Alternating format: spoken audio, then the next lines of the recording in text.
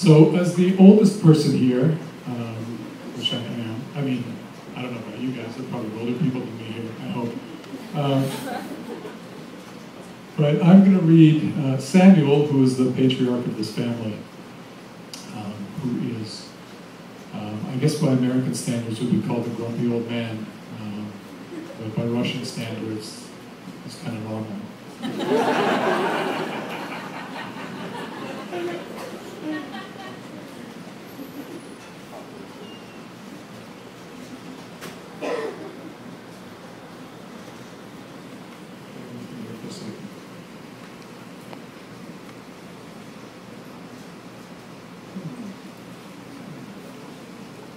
Okay, there we go.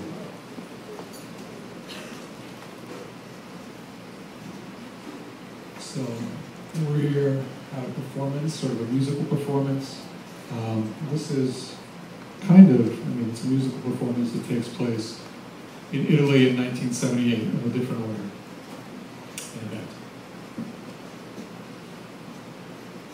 One afternoon at the military hospital in Simferopol, a number of patient musicians had put a small had put on a small concert.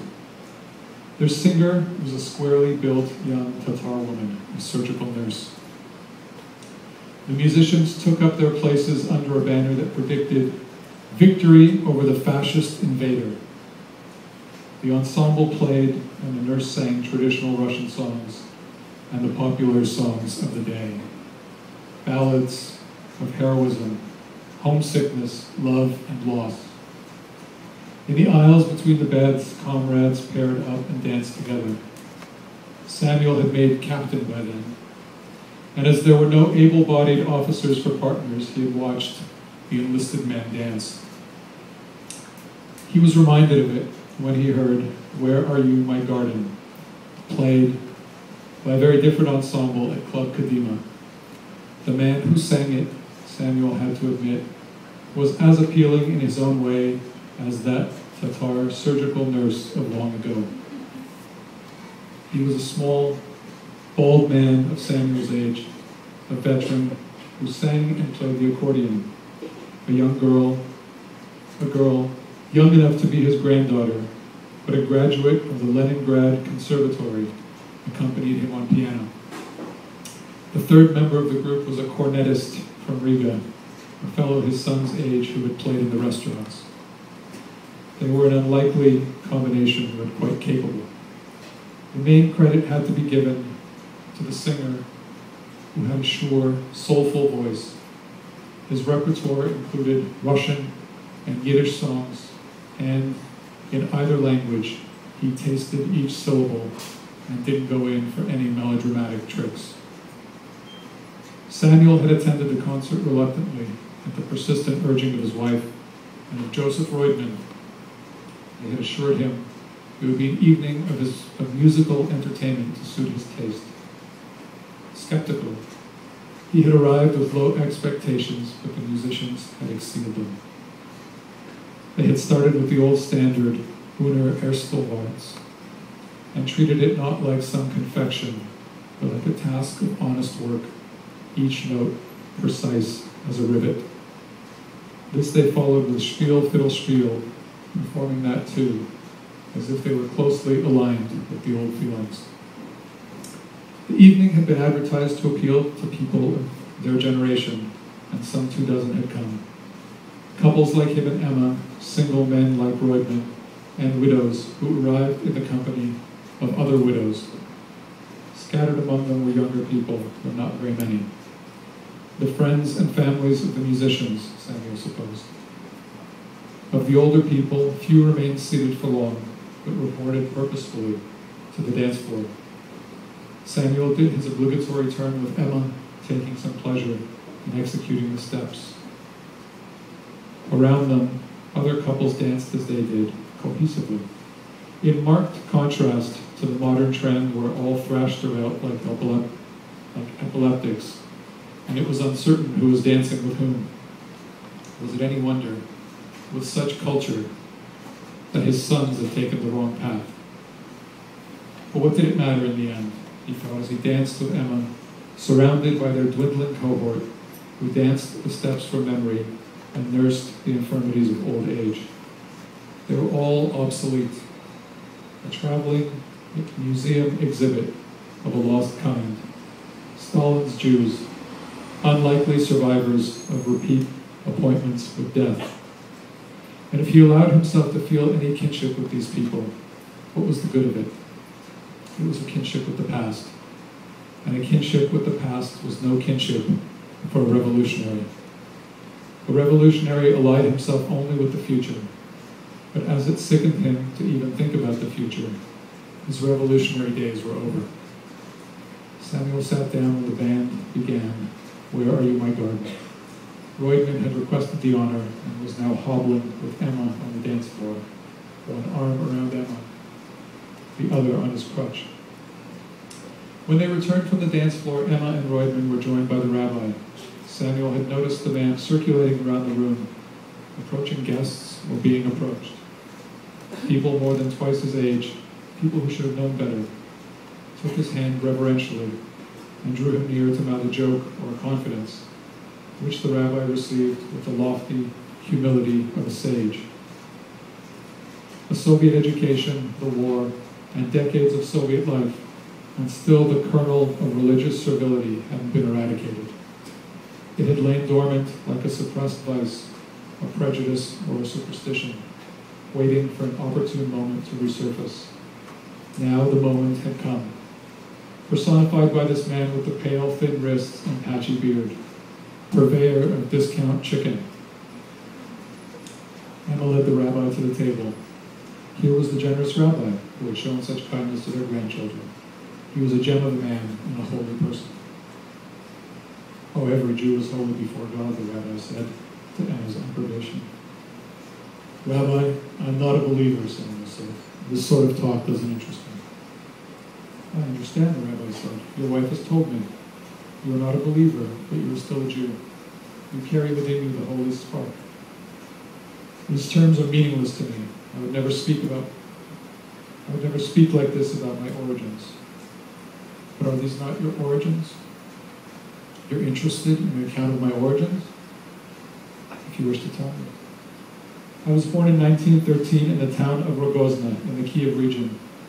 My father managed the woods and owned the general store I'm Jewish by nationality. I did not complete my higher education. When I was six years old, my father was murdered by the whites. After his death, my mother became a seamstress and remained a member of the proletariat until her death at the hands of the German fascists. At the age of 14, I was trained by my uncle as a bookbinder. I worked at this trade until the war. At age 16, I was a member of a communist cell. In 1940, when the Latvian SSR was established, I joined the party. During the war, I volunteered for the front and rose to the rank of captain in the Red Army. After demobilization, I was finance director of the VEF Radio Technical Factory. Until six months ago, I was a member in good standing of the Communist Party of the Soviet Union. I was never expelled from the party and never had any party penalties assessed. I have the following orders, awards. Order of the Red Star, Order of the Red Banner, Medal for Bravery, and Medal for Victory over Germany in the Great Patriotic War. You will notice that I make no mention of any spark, soul, or God. Samuel, don't get upset. I said, the rabbi means well. He means what he means, Samuel said. And I mean what I mean. Your husband is right, the rabbi said. It is a shame that we mean different things but I respect your husband as a man of his conviction, convictions. Samuel Lazarovich, if you had applied the strength of your convictions to the Torah, I don't doubt that you've been a great rabbi today. Nonsense. Had I applied myself to your Torah, I would not be here today. The NKVD would have put me on a train or the Germans in a pit. All the more reason to return now to the Torah, wouldn't you say? Out of respect for our martyrs. There were many kinds of martyrs. You honor yours, I'll honor mine. Samuel excused himself and went outside. The rabbi had switched topics and began to speak about Israel and the peace negotiations with Egypt. He spouted drivel about the age of redemption. For the first time since the destruction of the Second Temple, the Jews were once again masters over Greater Israel, the portion that the Almighty had promised to Abraham. All of this portended the imminent arrival of the Messiah. Thus, it was absolutely forbidden for Begin to surrender any of the sacred land to the Arabs. God's covenant inherent in every stone and every shrub. Outside Club Kadima, Samuel walked away from the building and leaned against the low wrought iron fence. The security guard, a beefy, middle-aged emigre, tossed a casual remark about the humidity inside the club. Samuel didn't bother to reply. He rested his hip against the fence and waited for the coolness and quiet to act upon his thoughts. The rabbi's remarks had agitated him too much and caused his blood pressure to spike. He'd become flushed and lightheaded, and he'd noticed Emma appraising him. He felt a tremendous urgency to get free of them both. Below in the street, he calmed down. The talk of religion, martyrs, and Begin led him to think of his cousin. Begin was in America, meeting with Carter and the Egyptian Sadat. The entire civilized world attended his every move.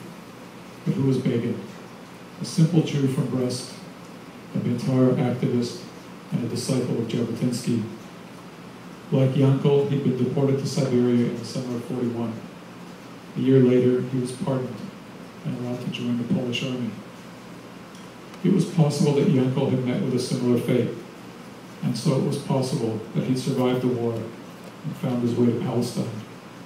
His biography, up to a point, was sufficiently similar to Begin's, or to those of many of the other Israeli leaders of the same generation.